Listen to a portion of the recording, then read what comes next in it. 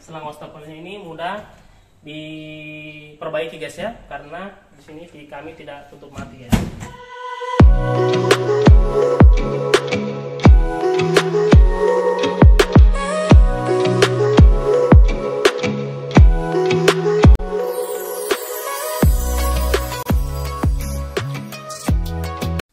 Assalamualaikum warahmatullahi wabarakatuh. Guys, jumpa lagi dengan saya Anak Almunim Channel uh, Seperti biasa, di kesempatan kali ini Saya mau mereview atau berbagi informasi sedikit buat kalian uh, Tentang lemari kitchen set dan juga membawa kompor dan juga meja uh, lemari untuk dibawa wastafel guys uh, Sekedar info bahwa uh, hari ini guys, tepatnya hari Ahad uh, Selamat buat kalian yang berakhir pekan dan juga semoga hari kalian ini menyenangkan guys. Uh, di sini baru-baru selesai saya akan kerjakan guys.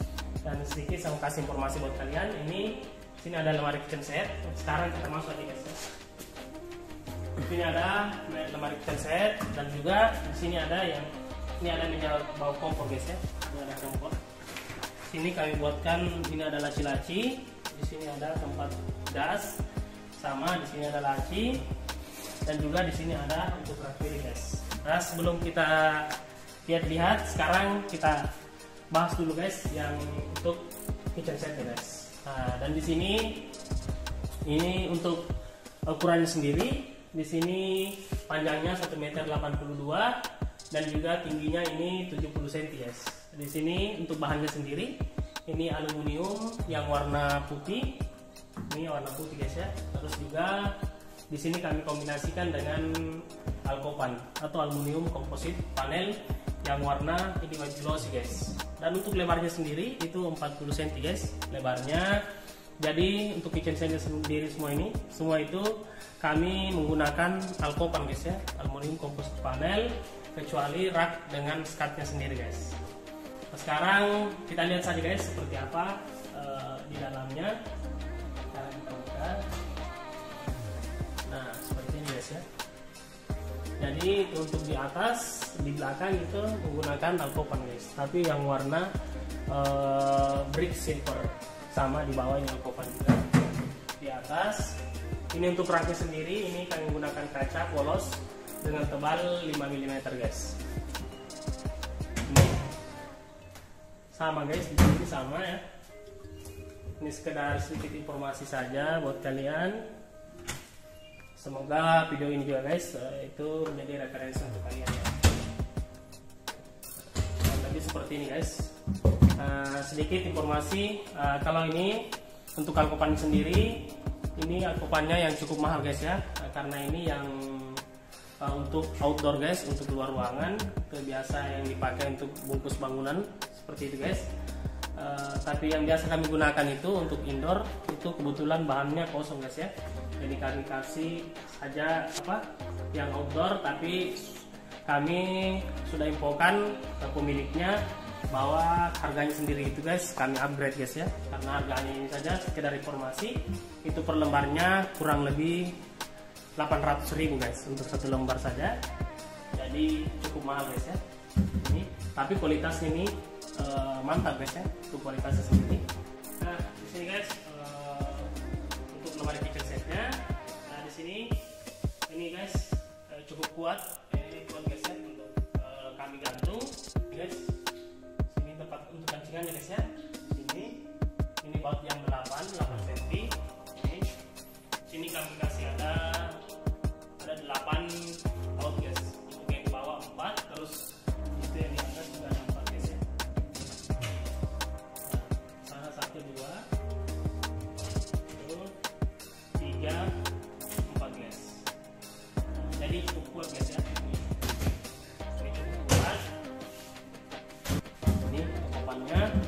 sekarang kita lihat saja guys untuk di bawah kompor.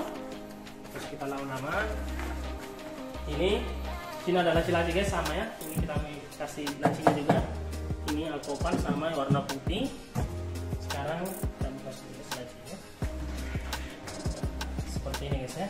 Jadi untuk uh, dinding lacinya itu kami menggunakan kaca guys. Ini kaca yang tebal warna yang ribbon tebal 5 mm sama ini di bawah kaca juga guys ya. Kami kasih kaca semua guys. Seperti ini. Edit ini licin guys. Uh, karena laci itu guys uh, beda-beda guys ya. Berbeda-beda mereknya. Tapi yang saya sarankan buat kalian itu kasih laci yang seperti ini guys. Bagus. Licin guys ya. Terus uh, tahan lama juga guys. Karena harganya juga cukup mahal guys. jadi seperti ini untuk dimaminya kompor. Jadi sini guys banyak uh, fungsinya ya. Tempat simpan apa semacam toples atau apa. Kalian yang lebih tahu lah. Kalau saya sekedar buat saja. Nah, seperti ini. Terus yang di samping ini guys ini ada dua pintu. Kalian bisa lihat ini ada semacam ventilasi guys ya. Nah, untuk ventilasinya di sini sendiri itu kami buat sendiri. Kami yang lubang-lubang sendiri guys. Uh, tentunya ini tempat gas ya tempat gas ini. tempat gas 12 kilo ini. Sini tempat gas. Jadi pintunya seperti ini. Sama di sini ada juga. Tempat simpan barang ini cukup luas guys. Cukup luas. Jadi dia ini tembus dari sini tembus ke sini guys ya. Ini ada start nah, untuk di sini guys ini ada meja wastafel ini di bawah wastafel guys kami kasih pintu. Sini guys uh, kita buka. Nah, jadi fungsinya ini guys sini bisa tempat simpan barang dan juga ini di sini guys kita tidak tutup mati. Karena kenapa? Uh, siapa, siapa tahu eh, di sini kami guys tidak tutup mati. Uh, mungkin satu saat nanti guys. Misalnya di sini ada kebocoran untuk selangnya. Selang wastafelnya ini mudah diperbaiki guys ya. Karena sini di kami tidak tutup mati guys. Oke buatkan pintu agar mudah guys ya. Kalau ada kerusakan. Di sini untuk di bawahnya juga kami kasih laci sama ini ada laci. Dan di sini ada rak piring guys. Ini ada laci rak piring kami buatkan sini ada tempat gelas ada satu lusin buat tempat gelas. Dan juga di bawah di sini ada rak tempat piring guys. Ini. Sini ada fungsinya juga guys. Ada rak juga di bawah. Seperti ini guys ya. Nah kurang lebih guys uh, seperti ini. Uh, semoga guys video ini bermanfaat untuk kalian. Dan terima kasih yang sudah klik video ini. Semoga video ini bermanfaat untuk kalian dan terima kasih. Assalamualaikum warahmatullahi wabarakatuh.